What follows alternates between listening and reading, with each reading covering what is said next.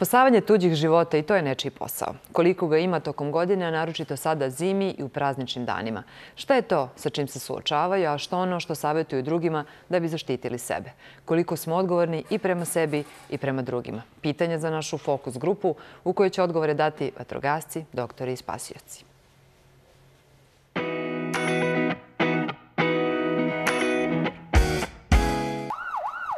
Zvuk vatrogasni ili sirene službe hitne pomoći znak da je nečiji život u rukama onih koji su obučeni da daju sve od sebe i pomognu. Spasiti ljudski život, pomoći čoveku u nevolji, osnovni je zadatak i gorske službe spasavanja. Doktori, vatrogasci i spasioci, nekoliko stotina intervencija godišnje.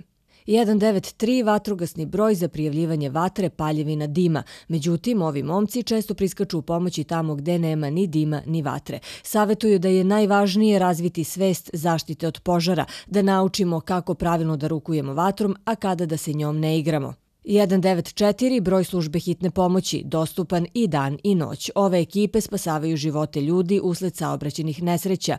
Kad je neko bez svesti, bori se za vazduh, ne diše, ima alergijske reakcije, bol u grudima, nekontrolisano krvari, kada se neko bori za život.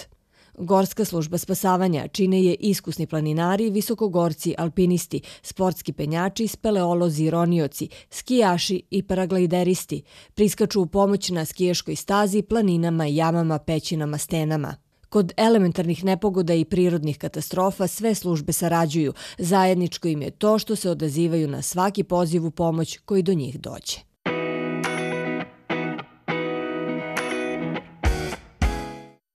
Moji gosti danas, dr. Aleksandar Čokanović iz službe hitne pomoći, tu je i Mile Jovičić, komandant Vatrogasno-spasilačke brigade Beograd i Dimitri Ostojić, član Gorske službe spasavanja. Dobar dan, dobro nam došli. Dobar dan. Evo, čuli smo brojeve telefona na koje možemo da se obratimo za pomoć kada nam je potrebna hitna ili vatrogasna služba, a šta je sa Gorskom službom spasavanja? E, za Gorsku službu spašavanja svako ko se kreće često u planini ili po nekim ruralnim područjima Bilo bi korisno da uvek ima u telefonu broj 063 466 466. Na tom telefonu je uvek neko dežuran i zavisno od lokacije ti pozivi se dalje rutiraju ka e, ekipi koja je najbliža neophodne intervencije ukoliko ima uopšte. Jasno. E, šta podrazumeva posao spasiti nekom život? Kakva je to struka? Evo možemo da krenemo od vas. Pa znate kako, to je specično zanimanje. Ja bih samo dodao se na ono što je kolega rekao, u planu je. Mi očekujemo uvođenje broja 112, to je jedinstveni broj za pružanje pomoći građanima u nevolji i dobro bi došlo u ovoj situaciji da ne more da okreću broj mobilnog telefona. Ako znamo jedan jedinstveni broj, onda je mnogo lakše prebaciti vezu na neku službu koja je potrebna. Da li je to u pitanju hitna medicinska pomoć, gorska služba spasavanja, vatrogasci, spasioci, policija ili neka druga služba, sasvim je sve jedno. A posao nije lak, posao iziskuje velike napore, velika odricanja. Često nismo i sa našim porodicama i moramo konstantno da, da vežbamo i da radimo sa ljudima. Ta, takođe, e, mora da se prate inostrani, da kažemo, trendovi, odnosno nabavka nove, nove tehnike i da se nabavlja ta nova tehnika kako bi što bolje i efikasnije radili na intervencije. Evo upravo mi dok ovaj, razgovaramo, mi već imamo dosta posla u Beoradu, kažem, nažalost, zbog ovih i novogodišnjih praznika. E, ljudi su pomalo neoprezni u toku jedna intervencija gde smo, zahvaljujući tome što smo brzo stigli na, na lice mesta, uspjeli da spasemo jednu stariju mušku osobu. Znači, spasiste joj živote. Dakle, upravo o čemu razgovaramo. Da li treba biti rođen za to ili se to uči? Pa, vjerojatno da ima i jedno i drugo ovaj, u, u celoj toj priči. E, jednostavno, postoje osobe koje mogu sa tim da se nose na jedan drugi način, ali naravno, ovaj, niko se nije naučen rodio se kaže tako, da morate kroz svoj život da učite da se iznova ovaj, usavršavate, edukujete kako biste bili, što kaže kolega, u trendu sa svim, sa svim dešavanjima. Znači sa novom terapijom, sa novim ovaj, instrumentima, sa nekim stvarima koje mogu vama da pomognu u vašem poslu kako biste ga uradili na što bolji način. Koji su to najčešće situacije kada gorska služba treba da krene, tako da kažemo, u pohod i spasi nečiji život? Praksa nam je pokazala da najviše slučaja gubljenja imamo na teritoriji Srbije, ali ako ne računamo skijašku sezonu gde svakog dana na skijalištu se dešavaju potrebe, e, povrede i svakog dana e, veliki broj spasioca dežura zapravo na svakoj planini u Srbiji gde, gde imamo ski centar. Ali gubljenje su najčešći uzrok našeg angažovanja zato što veliki deo teri teritorije Republike Srbije pod planinama i, nažalost, ljudi se gube. Jasno. Da li postoji neka situacija koju ćete uvek pamtiti kada je reč o spasavanju ljudskih života, kada ste bili na terenu? Šta je to što, što nikad neće, nećete zaboraviti kada je o tome reč? Pa bilo je dosta situacija, kažem, nažalost, i da krenemo od onih ratnih dejstava e, za vreme onih NATO agresije, NATO udara, pa do velikih poplava 2014. godine na teritoriji opštine Obrenovac. Konkretno ja i živim na teritoriji opštine Obrenovac. 22 e, vatrogaca spasioca su uporedo sa radom na terenu imali problema, to je kako spasti evakuisati e, porodice, imovinu. Svima nama su, kažem, kuće ostale zarobljene pod vodom, ali mi smo uprkos tome dali maksimum kako bi uspeli da spasimo što veći broj ljudskih života i da materina šteta bude što manje. Naravno, tu su i tehničke intervencije u saobraću gde zajedno učestvujemo sa kolegama iz policije i kolegama iz, da kažemo, hitne pomoći. E, to su intervencije gde imate različite prizore i e, dugo vam ti prizori na intervencijama ostanu sećeni da imate i povređene i, nažalost, i nastradale. I to su prizori koji se tako lako ne zaboravljaju. Naravno, tu su i tehničke intervencije sa opasnim materijama. Na takvim intervencijama uvek preti opasnost, prvenstveno za vatrogasce, spasioci, zbog čega je potrebna veoma dobra, prvenstveno zaštita, pre toga i obuka i sam pristup e, mestu događaja, gde nikad niste sigurni kakva vam opasnost preti. Tako da, zaista je puno događaja. Ja dugo radim već ovaj posao, a mogu i napomenuti da mi najteže u životu bilo prvenstveno na tim poplama u Brenovcu 2014. godine. 2007. godine možda na Staroj planini, kad sam učestvovao u akcijama gašenja velikih šumskih požara. 2005. godine velika intervencija prvo Iskri, Namensko, Bariču, kada su imali nekoliko da, nastradalih lica. Gašenje velikog požara, promet gasa, gašenje bolnice dr. Ragiša Mišović, galenika fitofarmacije, zaista dosta tih, da kažemo, događaje koje ću pamtiti duži vremenski period. Naveli ste te događaje gde e, treba da spasite druge ljudske živote, a koliko ste vi tada u riziku? Naravno, uvijek postoji rizik ovaj, po nas i po sve službe koje učestvuju u tom spasavanju, ali ono što nas uče kada dođemo ovaj, e, na lice mesta, to je bezbednost na prvom mestu. Znači, bezbednost za nas, za našu ekipu, za, za ljudi koji se bave tim ovaj, poslom iz razloga što ako vi niste bezbedni dok radite taj posao, ne možete očekivati da ga uradite sa 100% koncentracijom, sa posvećenošću na pacijenta, na, na sve ono što treba da odradite. Tako da prvenstveno znači da se obezbedi situacija u čemu nam pomažu naravno kolege iz vatrogasne službe, iz policije, ako treba da obezbede mesto događaja, ako treba da se sanira, da se požar neki lokalizuje, da se ugasi, znači da bismo mi mogli da uradimo svoj deo posla sa pacijentom, to je sa povređenim. Kako se nosite sa tim da ne možete baš svima da pomognete? Pa znate kako, to je ono nešto što se, što kaže sa je čovjek i rođen i ove, ovaj, što se uči jednostavno posle uh, veće broja situacija gdje imate, uh, da kažemo, tragičan ishod na kraju, gdje ste uradili sve što možete da uradite da pomognete nekome, jednostavno to nekako potrudite se prevaziđite baš zbog toga što ste sve uradili. Uvek ostaje neki, neki trag, da kažem, neka tuga, nešto, neko zrno ovaj, eh, u vama. Ako niste stigli da uradite sve što ste mogli, da li je to zbog eh, toga što neko nije htio da vas propusti u saobraćaju, što je neko stao ispred vas eh, zato što je mislio da koriste hola hite pomoći na ne znam neki način koji ne treba da koriste, da li zbog toga što taj neko telefonira pa vas ne vidi, sluša glasnu muziku i tako dalje, ili zbog neke druge situacije, jednostavno da je bolest toliko uznapredovao da vi niste bili u stanju da, da uradite sve. Jednostavno u tim situacijama ostaje taj neki, što kaže, ovaj, gora kukus, ali ovaj, kažem, najbitnije kada čovjek uradi sve što može i kada na kraju dođe u situaciju da posjeti tog pacijenta u bolnici, da mu stane ko nasmeje, da mu što ga samo kaže, jeste, znači jedno to hvala, ovaj, čak i to samo osmeh jedan, ovaj, jednostavno sve te neke druge stvari leči, stavlja u drugi plan i, i to je ono, ovaj, da kažete sebi, e, zbog ovoga sam se ja školovao, znači zbog ovoga sam prošao sve sito i rešeto i prolio krv i znoj, da bi na kraju došao od toga, znači da, da nekome ovaj, svoje to znanje, svoje mogućnosti ponudiš i da ih ovaj, potrebiš na najbolji mogući način i na kraju da spasiš čovjeku život. E, Čuli smo malo pre, dakle, je ovaj, Aleksandar je rekao, dakle, koji su to trenuci em, kada može da dođe do kašnjenja, tačnije njihove, jel tako, hitne službe na lice mesta, koliko su stvari ljudi negde neodgovorni i koliko ne shvataju važnost te sirene e, koja se uključi. Gorska služba e, preko godine hiljadu povređenih je, jel tako, ovaj, zbrine na skijalištima i nepristupačnim planinskim terenima. Imate preko 50 spasilačkih intervencija. To je najčešće pretraga terena. Šta je ono u čemu najviše ljudi greše sada u zimskom periodu? Najčešće greške u zimskom periodu e, su pre svega loša procena pojedinaca.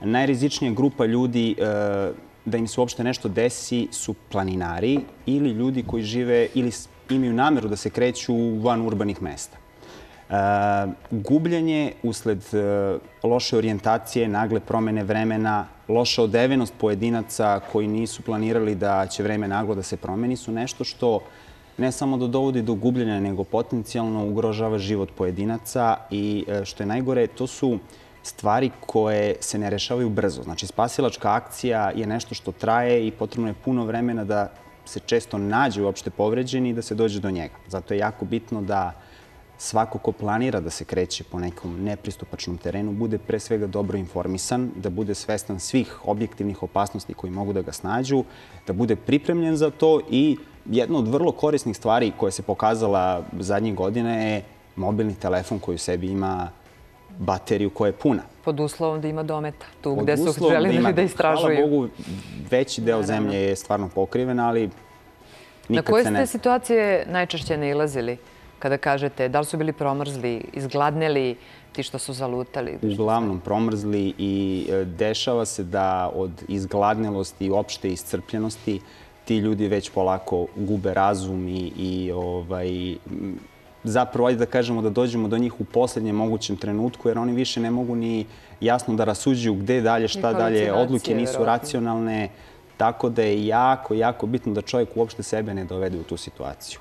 I jako je bitno, na primjer, ako pričamo o u grupama ljudi koji se kreću po planini, da uvek informišu nekog gde su krenuli, da u slučaju da neko, da nestanu, da, da mi imamo bar neku polaznu informaciju gde U ići. kom pravcu da idete? Tako, puno imamo gubljenja na skijalištu. Mislim, nije puno. Imamo gubljenja na skijalištu, ali je tu stvar mnogo lakša zato što uvek znamo gde je skijaš zadnje izašao zahvaljujući savremenim sistemima na skijalištu i praktično ta gubljenja su za nas e, rutinske stvari koje vrlo brzo, vrlo brzo zapravo nađemo ljudi koji su se izgubili. Jasno. U ovim zimskim danima šta je ono gde građani najviše greše, a šta vama daje, zadaje mnogo posla, ugrožavaju ne samo uh, sebe, nego i druge? Pa nažalost sa grejnom sezonom se poveći broj intervencija u stambenim objektima. Uglavnom su ugrožene stambene zgrade. Nadam se da će i ovaj zakon koji stupi na snagu vezano za takozvane upravnike zgrada, odnosno predsjednike kućnog savjeta, da poboljša e, mnoge stvari po pitanju podizanja nivoa protipožarne kulture naših sugrađana, jer u takvim zgrada, u veličini zgrada, nažalost, u, u Beogradu, nemamo ni protivpožarnih aparata, hinanska mreža nije u ispravnom stanju, a i građani se neodgovorno ponašaju. U kom smislu? U smislu što ovaj, ne održavaju e, pravci evakuacije, odnosno stepenišne prostore. E, uglavnom ti rezervni izlazi iz objekta su zaključani. E, ukoliko postoje protivpožarno stepenište i ono je, da kažemo, ili zaključeno ili ispregrađeno različitim materijalima ili su, se nalaze različiti, da kažemo, otpadni materijali koji sprečavaju bezbednu evakuaciju. I u ovim zimskim uslovima najviše problema imamo u stambenim zgradama gde se za zagrevanje koristi čvrsto gorivo. Takođe problema imamo i sa kontejnerima i ja bih uputio jednom, još jednom apel svim našim sugrađanima da budu krajnje obazrivi, da ne bacuju žar sa pepelom u kontejnere, potrebno pre toga da ga ugase, da obrate pažnju na električne instalacije u svojim stanovima, da nikako ne ostavljaju aparate uključene bez nadzora. Sad za vreme novogodišnjih praznika često se koristi veliki broj produžnih kablova koji mogu predstavljati opasnost, što znači da u jednom istom trenutku ne bi trebalo da bude uključen veliki broj potrošača i nikako ni električne instalacije i aparate, kućne aparate u domaćinstvu ne treba ostavljati bez nadzora ako se odlazi na neki duži put ili duži vremenski period, jer nikad se ne zna, može doći do pregrevanja i usled kvara na električnoj instalaciji do pojave požara. Takođe, naši sugrađani moraju biti veoma oprezni prilikom manipulacije i upotrebe plinskih boca Jasno, u da, domaćinstvima. Sve su to, da kažemo, neki uzroci nastanka požara, a prvenstveno najveći problem imamo sa, kažem, stambenim objektima, manje sa, sa porodičnim kućama, e, iz razloga što su naši sugrađani veoma nepažljivi, nemarni. Bilo je dosta i požara u kuhinskom delu. E, samo za prethodnih sedam dana imali smo 10 požara u kuhinjama naših stanova. Na svu sreću ti požari su primećeni na vreme. Mi smo brzo stigli na lice mesta i vrlo brzo lokalizovali taj požar, a moglo je, mogla je da nastane velika materijalna šteta. Kakva je bila godina, da kažemo, ova, za nama kada je o hitnoj reči? Šta je ono što vas očekuje sada najudarnije u ovom zimskom periodu? Pa Dobro, ova godina je, ovaj, što kaže, bila vrlo vesela. Ovaj, dosta poziva za ekipe hitne pomoći, pogotovo u poslednjih mjesec dana. Znači, baš se povećao ovaj, broj intervencije kako u toku dana, tako u toku noći. Ovaj, ono što je interesantno da se drastično veći broj intervencija zabeleži pri promjeni vremena. Pogotovo situacija koju smo imali pre par dana, pre mislim 7 dana, da je ovaj, u toku noći bio minus, padala je kiša i ulice su poledile. Tom prilikom je dosta naših starijih sugrađana potrefilo se da je tada bio vikend, subota. E, to je njihov neki dnevni ritual da izađu na pijacu, da po svaku cenu obave to što su naumili. Tako da smo zabeležili znači, veliki broj povreda na javnom mjestu, padova, preloma podkolenice, iščešenja kukova. I ovaj, jednostavno nisu bili pripremljeni to, kao što je kolega rekao, ovaj, e, vi, vi vidite sneg, ali niko ne očekuje led ispod njega. Tako da ovaj, ne izađe u adekvatnoj obući i jednostavno opusti se, smatra da će da se snađe ovaj, adekvatno na, u toj situaciji. Međutim, ovaj, kada dođe do klizanja, pad je neizbježan i samo je pitanje kakva će se povreda desiti u kom obimu. Tako da ovaj, jednostavno kada dođe do neke žešće zime, kada sneg padne, kada, već, kada znamo šta nas čeka na polju, mislim da pripremamo. Jednostavno u toj situaciji su manje verovatne povrede, naravno kod slabije pokretnih ljudi i to uvek moguće i ja kažem ovom prilikom stvarno apelom njih da uh, izbjegavaju koliko je to moguće da se kreću tim uslovima. Jednostavno neka to uradi neko mlađi ili, ili neka to odloži za, neko, za, za popodnevni, ovaj, popodnevno doba dana kada malo ovaj, temperatura uh, kada se podigne, kada taj led popusti, jer jednostavno mislim da ništa nije vredno njihovog zdravlja. Jasno, Znači koliko god ne znam pa da, koliko god to bilo ovaj, za njih hitno, neizbježno, jednostavno da malo povedu računa o sebi, jer kažem, niko drugi neće voditi računa o njima kao što to oni mogu da urade. Kao što je Dimitrije malo pre rekao, dakle, potrebno je da dobro znaju uh, kako se uputiti ovaj, u planinu. Međutim, specifičan je vaš posao koji radite. Dakle, i svi oni koji rade posao kao i vi, dakle, spasioci, čuli smo u uvodu, dakle, moraju biti dobro i fizički pripremljeni. To su ili skijaši ili visokogorci i tako dalje. Znamo da spasavate i sa stena, ali i pećina i jama. Koliko je tu zaista velika opasnost? Tu je zaista velika opasnost i to je, mm, da se malo nadovežem na ono o čemu smo već pričali, a to je opasnost po same spasioce. To je sredina koja je jako opasna generalno po čoveka ukoliko nije tehnički perfektno potkovan i to je glavni razlog zbog čega, zbog čega mi zapravo veći deo godine zapravo treniramo i spremamo se za nesreće tog tipa. Na svu sreću, u Srbiji ne postoji veliki broj nesreća u steni ili u jamama, ali s obzirom da su to tehnički najkompleksnija spasavanja, recimo spasavanje iz jama znaju da traju po nekoliko dana. Ovaj, tako da čak i po nekoliko nedelja. Imali smo nedavno slučaje, slučajeve u, u Evropi mm -hmm. gde je takva akcija trajala jako dugo. Ovaj, mi dajemo stvarno, stavljamo maksimalno akcenat na trening i na obučavanje što većeg broja članstva da se nosi kako je potrebno u tim situacijama tehničkog spasavanja. Ali, kao što sam rekao, zahvaljujući tome što, nažalost, planinski sportovi još uvek u našoj zemlji nisu popularni na nivou kao što su popularni recimo u Evropi, mi statistički gledano nemamo veliki broj intervencija u tim, mi ih zovemo tehničkim uslovima. Jasno. Dakle, čuli smo kroz vaše odgovore šta je ono sa čim se sada suočavate u ovim zimskim danima, na što treba svi oni koji nas gledaju da obrate pažnju i naravno da iskrenemo pažnju da ne okreću vaše brojeve, da ne pozivaju bez potrebe. Imali ste često situaciju, to najbolje znate, kada je neko sam, usamljen ili misli da ima probleme pa vas pozove, vi odete na teren i vidite u stvari da nema potrebe u stvari vi tu da budete. To je još jedna vrsta apela da se zna kada se određeni brojevi telefona zovu. Hvala vam što ste govorili za tako stoje stvari. Čuli smo dakle kakav je vaš posao, na što treba sve da obratimo pažnju. Želimo da imate što manje posla u narednoj 2017. godini. Hvala još jednom. Hvala vam. Hvala vam.